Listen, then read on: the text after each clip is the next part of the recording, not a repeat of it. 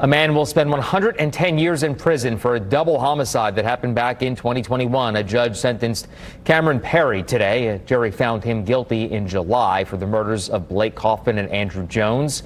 It happened in December of 2021. Police say the three men scheduled a meetup and then got into a fight before witnesses heard three loud thumps. Officers then discovered Kaufman and Jones shot. Perry admitted to shooting both the victims.